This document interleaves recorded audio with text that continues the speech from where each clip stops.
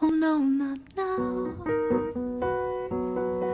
Please, not now.